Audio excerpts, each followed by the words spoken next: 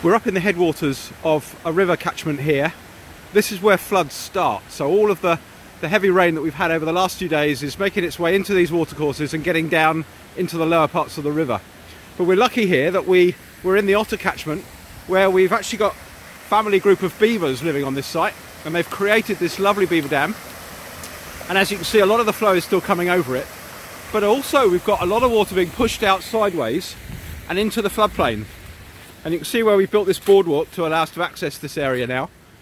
But all this water is now spreading out across this floodplain, slowing down, dropping out sediment as it goes. And the more of these wetlands that we've got in our headwaters, the slower the flow coming down into our river catchments. And if people are living in floodplains downstream, what they need are these wetlands up in the headwaters, storing the water and more gradually releasing it.